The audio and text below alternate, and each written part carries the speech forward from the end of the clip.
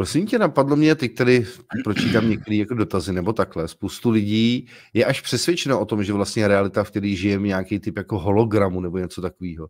Vnímáš to nějak jako podobně, že bychom tady byli, třeba ten Matrix, že by byl skutečně jako až téměř jako dokumentární v tom slova smyslu, že jsme vlastně naprogramovaný a žijeme jenom v nějaký jako iluzi, nebo si myslíš, že to je právě nějaký jako archetypový obraz, jo, kde se spíš no, na to poukazuje?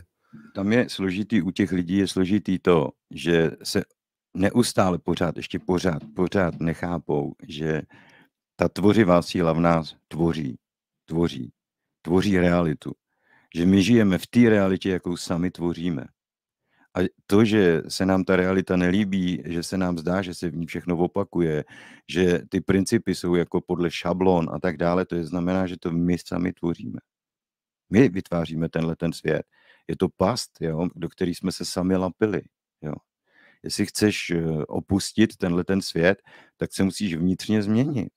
Nemůžeš, eh, jak to říkají, nemůžeš na základě toho, že děláš všechny věci neustále pořád stejně, takže že očekávat, že se něco okolo tebe začne měnit. Jo? Bude to pořád stejný.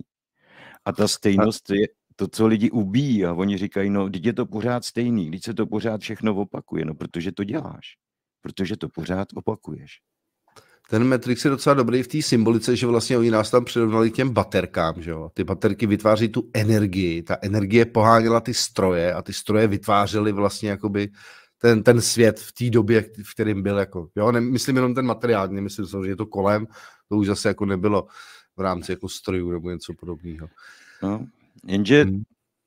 stejně jako v tom Matrixu, tak si musíš uvědomit, že v tom Matrixu ex- existuje vrchní programátor ten, který ty programy vytváří. A to seš ty. Aniž si to vůbec uvědomuješ. Ty seš tvůrce toho programu. Takže jestliže tě jakoby eh, naplňuje pocit, že ten svět je prostě nějaká, nějaká divná věc, no, kde, kde, kde je to řízený prapodivnýma skutečnostma, no tak se začni chovat tak, aby to těma skutečnostma prapodivnýma nebylo řízený.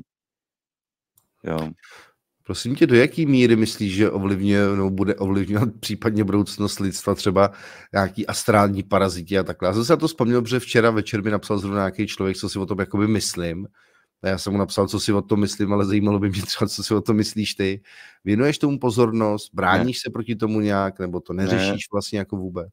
Ne, nevěnuji tu, moc tomu pozornosti nevěnuju. Mě tyhle ty věci jako trošku míjejí. Už asi proto, že jsem se s tím v životě nějak přímo nesetkal, aby, aby někdo mě musel odvádět nějaký přísedlíky. Hele, já... Uh, já ti něco odvedu, jestli máš dost peněz. Jo, já vím. Hele, odvádět já, každý večer.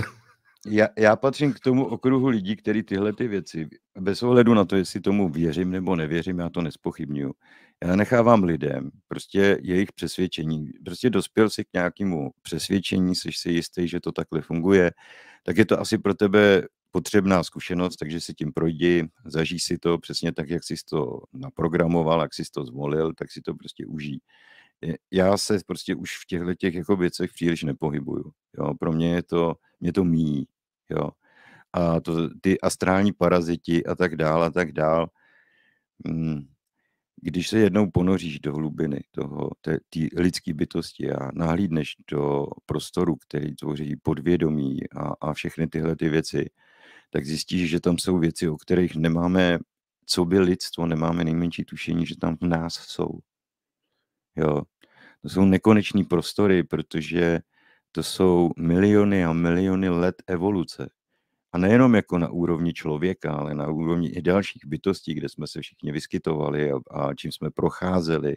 Jo, to naše vědomí může být a, miliardy let starý.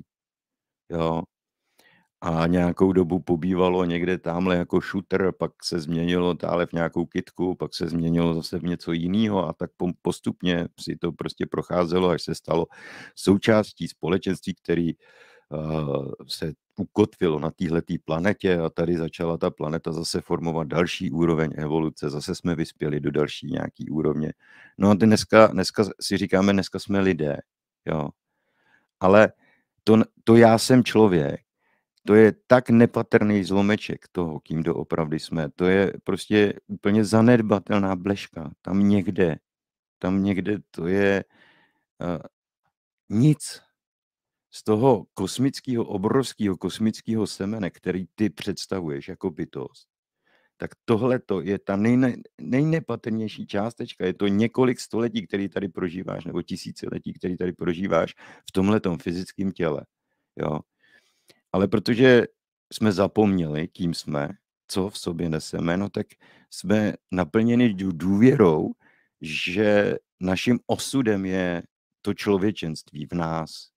A zapomněli jsme, že ten potenciál v nás je nekonečný, je absolutní. Jo. Mě tady pobavila taková představa, že spoustu lidí tady píše tím, že vysílám dopoledne, že třeba u toho vaří. Jo? A říká se, s jakou energií vaříš, tu do toho vkládáš. Mě by zajímalo, když někdo poslouchá třeba takovýhle pořád, jaký je potom to jídlo to musí být mana, prostě jako proudutí tvý moudrosti a těch zkušeností, to ty, ale opatrně, komu to budete servírovat potom, jo, protože tak ty, já, já teďka těch posledních 14 dní, tak jediný jídlo, který znám, tak jsou vývary, protože nic jiného bych prostě nedokázal pozřít, tak trošku polívky vždycky nějaký nebo něčeho, jo. Už je to lepší, jo, už, už, už to začíná jako pozvolna odcházet, takže zaplať pán za ty dary, no. Ale to někdy domluvíme, no to jako ochutnáme, víš, jako kdo někdo třeba napek něco, jo, při našem vysílání, tak potom domluvíme nějakou třeba besedu nebo takhle sválně tam třeba lidi přivezou. Víš, když bude nějak jako čerstvě, pochopitelně ještě. To budou věci, ty brdě. Ale já si myslím, že to tak opravdu je. Když si vezmeš, tak oni říkají, a je to jakoby prokazatelný, že například, když eh, máš zahradu a pěstuješ uh, nějaký plodiny na té zahradě, tak opravdu ty uh, plodiny reagují na to, jak ty se k ním chováš. Jo? To třeba i můj tchám bývalej a, a absolutně zapšklý ateista, který prostě jako nějaký duchovno ho absolutně nezajímalo, tak naprosto suverénně, když jsem za ním přišel, byl ve skleníku, tak řekl, víš, s těma paprikama si musíš popovídat. Jinak nerostou, jinak prostě ti hnijou, odejdou. Musíš s něma umět mluvit. Jo, takže on si tam povídal s rajčatama, povídal si tam s paprikama, s těma těma věcma. A i ten jeho ateistický mozek to naprosto dobře chápal. Do, dokonale chápal, že prostě ta rostlina na něj reaguje, že ho vnímá, že ho cítí. Jo. No a já ale s duchovnem mě doháje nějaký tyhle věci o energiích, ale, ale no. povídat, povídat si se zeleninou pete, jasně, jako bez ne, toho, normálně, bez toho se nehneš. Jo, jo. Takže, takže, jo, takže on i, i takhle tyhle ty lidi jsou za určitých okolností schopni připustit, že to funguje, že to, že to tak je, jo, že s tím nemají problém. No a teď si představ, že pak z toho vaříš jídlo, no tak to je další level, ne? To, co si tam do toho vložil, no tak teď se to zase promítá do toho jídla, který si uvařil, ne? No, aby jsme šli klidněji do toho materiálnějšího světa, tak Jana tady píše, že vytváří padák pro letadlo při našem vysílání. To bude já... perpetuum mobile, hele. to se jednou rozevře a už to bude lítat navždy. Tohle, to nikdy nespadne, to letadlo. Ten, ten padák se jednou odevře a tam v prostoru bude zavěšený letadlo na padáku. Já teda si vůbec neumím představit uh, souvislosti, to je pro co? To je pro nějaký, já nevím. Netuším, nějaký... mě napadl nějaký modílek asi, nebo něco takového pravděpodobně, že jo. Jak, ještě no. k těm astrálním parazitům mě napadlo vlastně, tam jsou jenom dvě roviny. Já jsem se k tomu stavil, nebo stavil jsem se k té odpovědi dost podobně, tak jako zdráhavě. A vlastně mě uspokojilo to, že já jsem neměl potřebu na to odpovídat. Jo. Protože dřív před nějakýma x lety bych pravděpodobně strávil hodiny a hodiny prostě vysvětlováním takhle po zprávách vlastně jako někomu, jak to teda vlastně je. A já poslední dobou, nebo teď jsem si uvědomil, že takovou potřebu vlastně vůbec nemám. Jo. Někomu něco vlastně jako vysvětlovat. Možná si uvědomu třeba tu nesmyslnost toho, že ten člověk by stejně nebyl ochoten to přijmout, protože on se neptal vlastně otázkou. On se on tímhle způsobem vlastně navázal jakoby kontakt a sám mi začal něco vysvětlovat, jak to vlastně jako je. Jo, a tím, že já jsem mu řekl, že tomu tu pozornost nevěnuju, že vlastně mě to nějak jako nezajímá, že si myslím, že prostě člověk jako právě tím, že si uvědomuje, že to vytváří všechno, tak vlastně ho tohle nemusí vlastně v podstatě vůbec zajímat. Hmm. Teď mě napadlo ten termín, ta astrální rovina, jo? že když si představím třeba sám sebe, jako právě tvůrce té reality, tak astrální rovina by nebyla nějaká někde, jo, v rámci jako daleko v kosmu nebo ve vesmíru nebo něco takového. Ale byla by to rovina mého vlastního jemnějšího vnímání. Takže by to byly vlastně myšlenky, které si neuvědomuji, byly by vlastně jako pod tím povrchem. Vlastně by to symbolizovalo třeba to podvědomí. Možná hmm. až nevědomí, jo, to je ta rovina astrální, který nemám běžně vlastně jako dosah. A pokud by tam byl nějaký ty parazita, tak by to stejně zase byl nějaký individuální program uvnitř mě, který potom možná někdo definoval jako nějakou existující bytost, ale třeba jemně hmotnou, jo, ale aspoň nějak hmotnou, aby se s ní snáze člověku mohlo pracovat. A možná protože jsme to takhle se učili, nebo vnímali to vysvětlení toho, že to je něco, co opravdu existuje, prostě se to na tebe napojí, ty s tím nemáš možnost co dělat, jenom můžeš odpojovat a vlastně celý život v podstatě nic nedělat, tak mám pocit, že jsme to tím ve skutečnosti mohli dokonce vytvořit a zhmotnit, že něco takového existuje. Ale prvopočátek pořád vychází z nás samotných, že to je nějaký typ programu, kterýmu, aby jsme mu lépe rozuměli, tak jsme možná začali třeba malovat, jo, nebo o něm mluvit a vysvětlovat, aby to mělo nějakou formu a my jsme tu formu tomu ve skutečnosti mohla možná začali dávat teprve. Co to myslíš? No. Jo, já, ale já, já kdysi dávno, když jsem byl v tom největším průseru, co, co se týče psychiky, jo, když, a tak dále, tak tam, tam, tam jsem zažíval opravdu věci, kdy bych uh, prostě dal ruku do ohně za to, že uh, vím, že tam ty bytosti jsou v té místnosti. Byly, prostě tam byly, jako jo, to, uh, to byly stavy, kdy já jsem si šel večer lehnout a to si normálně citelně cítil si, jak se v té místnosti začalo ochlazovat. Jo, to, to prostě radiátory rozpálený eh, do běla pomalu a teď si viděl na teploměru, jak prostě klesá teplota v té místnosti. Jo. A já jsem říkal, ale to by jebe normálně, to by strašně hrabe. Jo. Ty seš prostě, jo, a mě opravdu hrabalo v té době, jo. Byl jsem jeblej. A to, to, co jsem řešil tím, že jsem si naplnil te, petky teplou vodou vařící, naházel pod příkrývku, zalezl jsem pod příkrývku a teď jsem se tam smažil s těma petkama, protože jsem se normálně pod tou příkrývkou, jsem se klepal zimou, jako, to bylo hrozný. Jo. A teď bych měl někomu říct, hele, s těma entitama já na ně nevěřím, já, já jsem si jistý, že to neexistuje, takže já, jako já to neřeknu, samozřejmě, že to neřeknu, protože já jsem si zažil svý. Nicméně, a když a když jsem zažíval eh, ještě jako malý dítě eh, takový to největší napojení, to byl jakoby jiný svět, tak vím, že já jsem si tam dokázal vizu, jakoby zhmotňovat věci, vizualizovat věci a projevovat si je do reality. Promítnout si je, což znamená, já nevím nakolik jsem byl v té době schopný si tam ty věci sám naprojektovat do toho světa okolo sebe.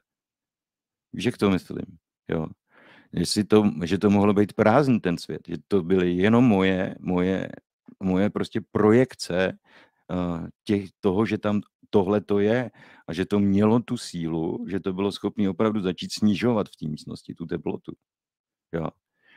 Protože to jsou ty známé případy, já to, jsem už to používal, že jo, ten chlap, jak vlezl do toho mrazáku a druhý den, jako tam našli, že jo. Mrzlý ho přesto, že byl vyplej. Jo, a ten mrazák byl normálně vyplej, ale on měl omrzliny, on měl mhm. všechny mm-hmm. příznaky toho, že, že skutečně umrznul. Jo, ale ten mrazák byl odpojený, ten neběžel. To jsou uh, Viktor Farkas, myslím Němec, že to je, tento sepisoval tyhle ty, jo, neuvěřitelné skutečnosti, zázračné skutečnosti, nevím přesně, jak se jmenují všechny ty knihy.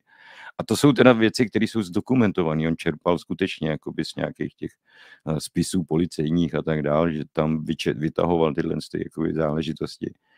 A vem si, ty, ty, až kam, jo, to jsou potom nejrůznější třeba na těch rukou, jak máme ty stigmata, jo, některý lidi, že tam mají prostě znaky po těch hřebech vody, jo, ukřižování a tak dál, že až tak daleko je ten náš organismus schopen zajít, že zrealizuje to, co my jsme si sami sobě sugerovali. Ne? Já si vybavuju třeba jeden, jenom jeden, co, co vytáhnu jakoby v rámci toho, jak to dokáže ovlivňovat skutečně fyzickou formu. A mě takováhle přesně entita, kterou už tady jako spochybňuji její existenci, normálně chytla za nohu a strhla z postele na zem, jako. Má fyzicky, jako.